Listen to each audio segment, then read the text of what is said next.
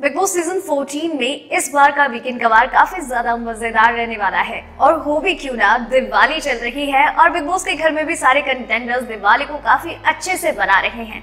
इसी बीच में सलमान के साथ दिवाली बनाने के लिए पहुँचे हैं राइटर हर्ष और सुरभि चांदना। इसी के साथ पहुँचे हैं छोटे डोनाल्ड ट्रंप भी। जी हाँ और इन तीनों ने मिलकर सलमान के साथ खूब मस्ती मज़ाक किया, धमाल किया। नॉट ओनली मस्ती धमाल, बल्कि यहाँ पर सोशल डिस्टेंसिंग वाला डांस भी हुआ। जी हाँ छोटे डोनाल्ड ट्रंप सबके लिए गिफ्ट लेकर आए थे, जिसके साथ सलमान ने सुरभि के साथ डांस किया और डोनाल्ड ट्रंप ने हर्ष के साथ डांस किया। और इस तरीके से उन्होंने दिवाली का फेस्टिवल काफ़ी अच्छे से बनाया और सभी को काफ़ी एंटरटेन किया।